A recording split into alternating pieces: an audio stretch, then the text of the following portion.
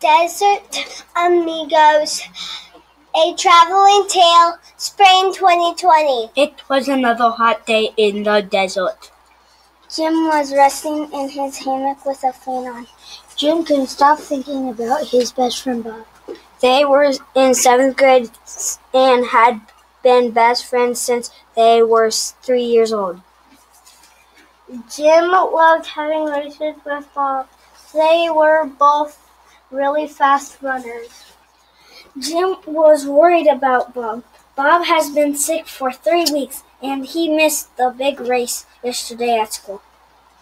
Jim got first place in the race but was sad that Bob wasn't there to run or celebrate with him. Before Bob got sick, he was the one who won most of the time. Jim's mom came to talk. She tried to make him feel better. It's going to be all right. I bet Bob went to the doctor and uh, I will get better soon. Why don't you go for a ride on your camel to calm down? She suggested. But, Mom, I just want to see Bob and make sure he is okay, Jim replied. Jim had an idea. He thought about things that make him feel better when he is feeling sick. He likes watching movies, getting lots of rest, having visitors, eating favorite snacks, drinking lots of water, and taking medicine. Then Jim knew what to do. He decided to ride over to Bob's house to help cheer him up. Jim got all ready to go. He gave Jennifer his camel some water.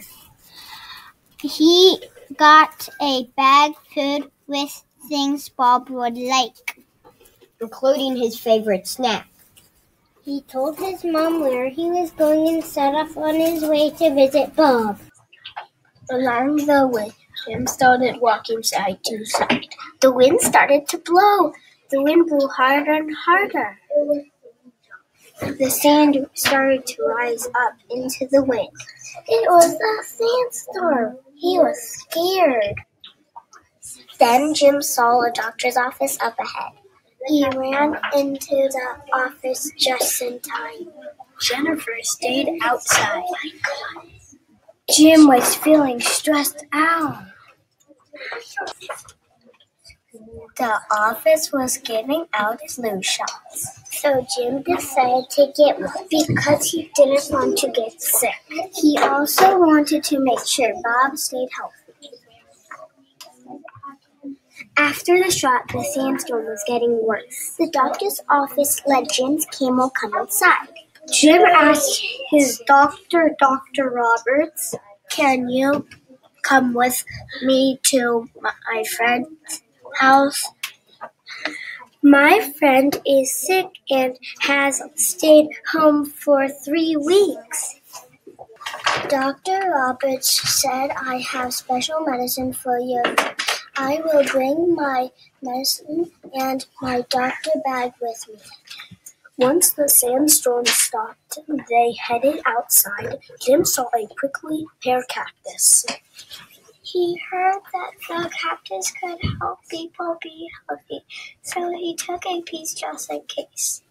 Dr. Robert and Jim traveled across the desert on Jennifer the camel. It was very hot. Jim carried a pear cactus, excited to help Bob.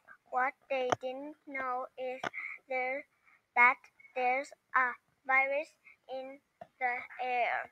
Jim got to the house and saw Bob's mom and dad. Mom said Bob is still very ill. What a new virus called camel flu. Jim said, Oh no, we came here on a camel. Everyone was scared. Soon everyone got sick, but not Jim. He had his shot and already some pear